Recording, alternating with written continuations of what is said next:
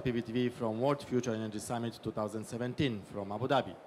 And now we are together with one of the pioneers of uh, solar industry in the world, Arturo Herrero, who is now chairman, founder, president of the company which is specialized in solar projects, but also he brought something very interesting here to Abu Dhabi. So Arturo, could you tell us more about what did you bring here besides the solar projects that you are known in the world since you were young?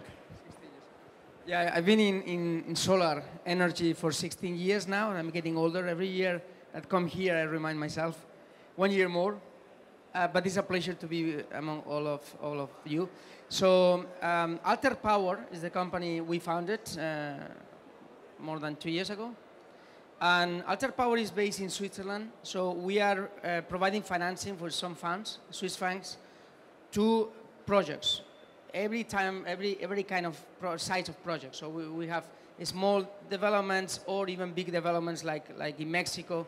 We, we do development for 350 projects in four projects, three of 100, one of 50 megawatt, and uh, we are offering that to Jinko, Jinko Solar, my previous company. They are very happy for this this uh, uh, collaboration we have with them. So Alter Power is also working with companies like Power Electronics, inverter companies, uh, or Right Technologies. So we do some due diligence on the projects and we provide some technologies. We're experts on, on solar panels, but also now in trackers and in solar inverters. So this is what Alter Power does. Now, part of Alter Power investment, there is a company uh, very successful that was started uh, three years ago. That is Immobike, is the one we were presenting today.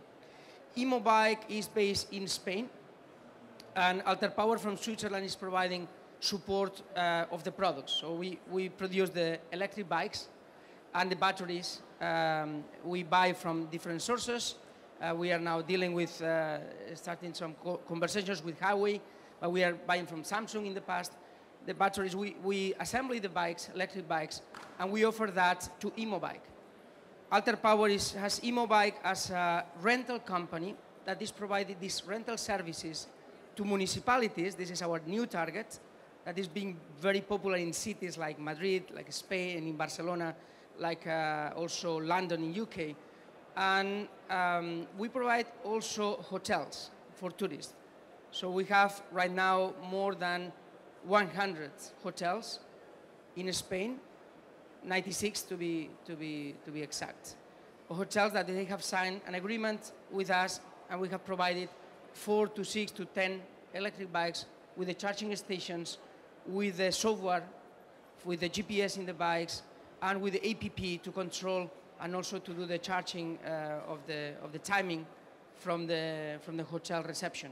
So the hotel reception has the software that we develop and they can at any time see where are the bikes in their software and also control the timing in order to charge the, the fee that is only 25 euros around per day. So it's, it's quite competitive. Okay, Arthur, so it's interesting, yeah, because uh, you are coming from the solar industry but now as uh, solar is related actually to all the clean energies, uh, you started this business with e-bikes. And uh, you mentioned that at the beginning you started with the small hotels, etc. But uh, also you are now tendering the huge amounts of e-bikes, yeah? because I assume that like we ex are experiencing that in solar, we'll also experience the clean disruption in the e-bikes. Yeah? So maybe it will be not uh, dozens, hundreds hotels, it will be millions yeah, at the end. So could you comment on that? How do you see the, you know, the market growing? Because it's, for us, it's the fresh topic. I, am sure you made it because you were in charge of the strategy of the largest companies like Trina, like Jinko Solar. So I'm sure that you also analyzed well the strategy and market opportunities for Immobikes. So could you tell us more about the strategy? And uh, let's present your company in 10 years to come. Well, Thomas, uh, we are just a startup in, in Alter Power and in Immobike. So we, we need still a lot of financing. So this is what, um, it's not like in Jinko in Trina, we were in the IPO raising 100 uh, uh, million US dollar and then making the company very successful in the, internationally. We're step by step. But it is true, and answering your question, we have been seeing the trend, and you can see a lot of uh, reports from Deutsche Bank or from Bloomberg Finance that the trend of electric mobility is becoming uh, a fact. It's a reality. It's like the climate warming that some people they don't see. But uh, we are very clear, and we have seen that a trend in most of the cities. The major cities has an issue on pollution we mentioned before, like uh, Mexico City, where they have already been investing in some electric bikes uh, for the cities. Madrid, they have this solution for the cities, electric bikes. Barcelona, there are still standard, uh, standard bikes, no electric bikes, but the standard bikes. Uh, we are seeing that in London, also in Paris, in Milan. So we have a very big network where we will be introducing our e-mobike solutions because also we are, we are innovative and we are competitive. The interesting thing is, is that you, you mentioned before, we are tendering now at the end of uh, September this year, we are preparing to tender for city bike solution in Barcelona. It will be more than 7,000 bikes with 7,000 or, or, probably 10,000 charging stations with our uh, software solutions, our APP. So we cross fingers and hopefully inshallah, in year 2020. Hopefully, in 2020, we have already uh, um, this uh, at least 10,000 bikes around Europe.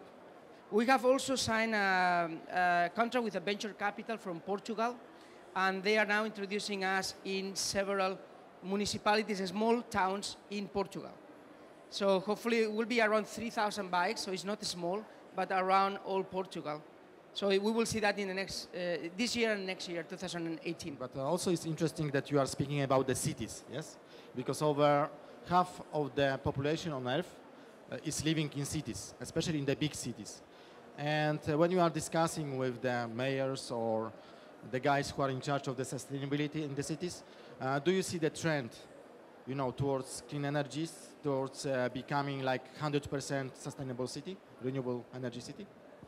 Well, you can see here we have a very clear example, right? The Masdar city is amazing. I, I have been there. Uh, in terms of, of Jinko, we have been approaching to them. We have very good relationship. Uh, and Masdar is a very clear example that I wish it could be not only here in, in Emirates, but in all the world. But we have also seen that in Mexico, where we are spending a lot of time in Latin American countries, there is also a sustainability uh, part of uh, buildings. We have seen that in Chile. In Chile, there is uh, La Ciudad Renovable, the city, um, smart city uh, outside of Santiago de Chile. So more and more, there is a trend.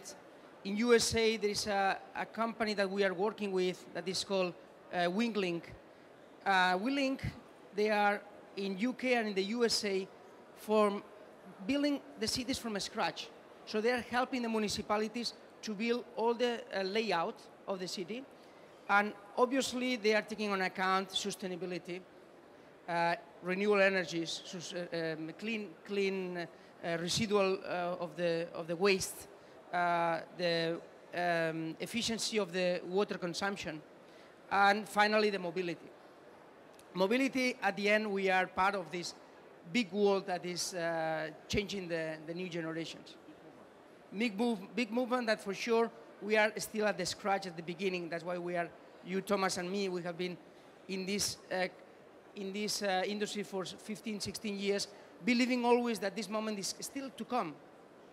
It's still to come, but we are seeing a very big trend and it will be exponential growth. Okay, um, do we have any questions for the audience? Coming from Mongolia, we are uh, maybe number one or two polluted city in the world during winter three months because yeah, half of the population live in the city, and 60% of them is still living in a yurt that has to fire coal. So maybe we cannot have the bikes in the winter time. It's minus 30, but during the um, other seasons, I think it's also uh, needed in our country. Another problem is we have a lot of off-road. So does your bikes uh, have the strong wheel that can go in the off-roads?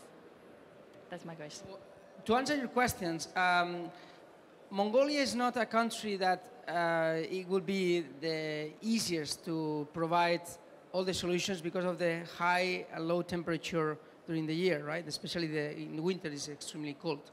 That's, that's a fact, that's true. But it is, it is uh, pro probably is best solution to, to have um, electric vehicles that maybe it's not a bike, but it has heating system inside, like electric bike, uh, electric cars, small electric cars. That's, that's a solution that we will see a trend globally when the technology improves, when everything is more cost competitive and everything is cheaper. Um, in the cities, always there is the, some also possibilities to use bike in certain uh, buildings like uh, factories, and we are providing some factories that are heated. So people is working, and for the employees, they can use the electric bikes to go uh, one kilometers long inside their facilities. This is something that we can see, probably. Yeah, we need to talk about that. Okay. So this is uh, for the first uh, part of your question, right? Then you mentioned, what about the bikes? Can, can they go on the, on the road that is not with the... Exactly, you don't have bike road. So here, what we can provide is electric bikes with electrical solution and charging stations with mountain bikes. So bigger, and we have also, one of our uh, designers has been come to the fat bike. The fat bike is really, really fat. It's even able to drive with the engine in the sand, in the sand of the beach. So we are trying that in Barcelona coast, in Valencia, all the coast of Spain, you can, you can ride the bike in the sand. So Mongolia, probably in the places where there is not so much uh, roads, is a solution. But for sure in the city, in the city, the governments, the local municipality, they need to provide with the trucks, with the bikes uh, path. The bike path, we have, we have seen most of the cities in Europe, they are already investing a lot because the uh, citizens are demanding to go to work by bike. So we are making the cities much more sustainable. And it will, it will be a trend, as Thomas said, that it will not stop. So we will see more and more restrictions to traffic, restrictions to cars that are CO2 contaminants, that are using oil, uh, even diesel. They will be using more and more uh, electric vehicles, electric 100%. Now we know there is these hybrid cars, but I would suggest everybody to use 100% electric vehicles. But the city has to provide also solutions and, and private investment and private companies like us, they need to provide the charging stations. So we provide charging stations with solar panels on the roof. And this is something that the governments, uh, at least in, in south of Europe, are more and more interested. So thank you everybody for coming. That was Solar PVTV from World Future Energy Summit.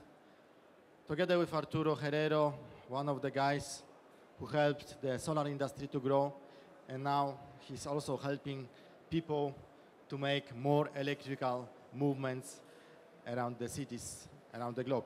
And uh, he promised us that he will never stop under the condition when 100% of people will be using solar energy and driving electric bikes.